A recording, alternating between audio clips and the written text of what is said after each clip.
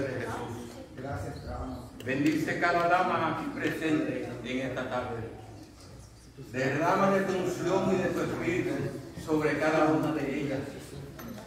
Si hay alguna tristeza, algún dolor en su corazón, que en estos momentos esa tristeza, esa amargura o ese dolor desaparezca de ellas.